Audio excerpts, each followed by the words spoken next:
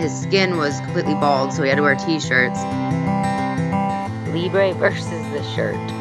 He had these like little doggy goggles he had to wear. I eventually called him my bug-eyed little alien child.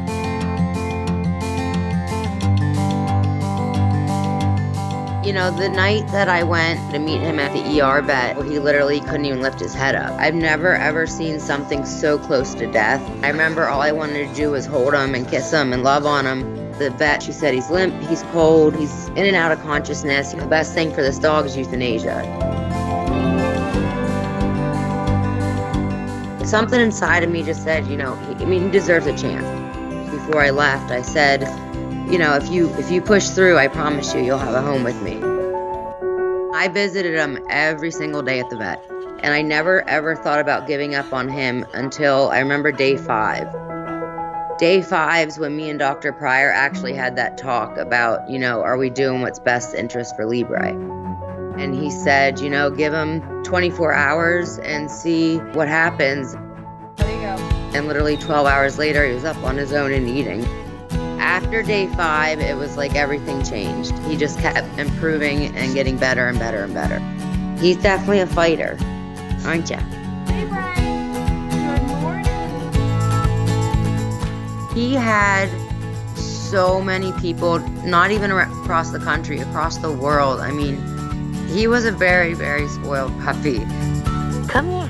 Bring it here. You're so smart. I remember sitting outside of the vet's office and I didn't have a toy, so I threw my flip flop and he chased it and he picked it up and brought it back to me and I called it Flip Flop Vet. Whenever people saw that on Facebook, I had probably hundreds of flip flops sent to him. I mean, hundreds. Yeah. Oh, I got my first kisses. Oh my god. Oh, oh my goodness. What is that? You know, I've cried over this dog more than any dog that I ever have. He's my boy.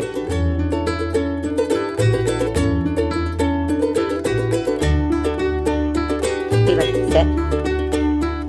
Good job. Oh my god, it's so smart. The first friend he ever made here at the rescue was a 2,000 pound cow named Meatball. He loves Meatball, loves that cow. He would go home with any stranger he ever met, and it's like, Libre, you can't be doing that stuff.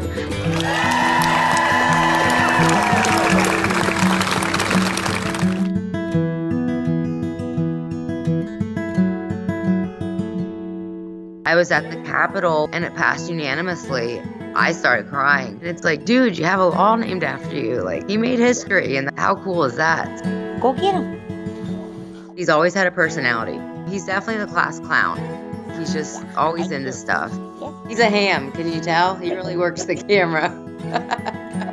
he taught me there is no such thing as a lost cause. He shouldn't have lived, and he did.